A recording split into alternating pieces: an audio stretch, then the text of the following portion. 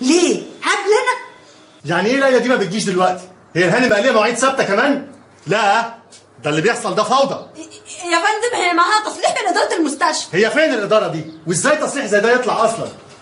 امجد أيوه يا سيدي. ما تقلقش. م- ما حدش هيزعجك تاني. خد مراتك واطلع بره. خد مراتك واطلع بره. أمجد تعال نشوف الفوضى اللي بتحصل.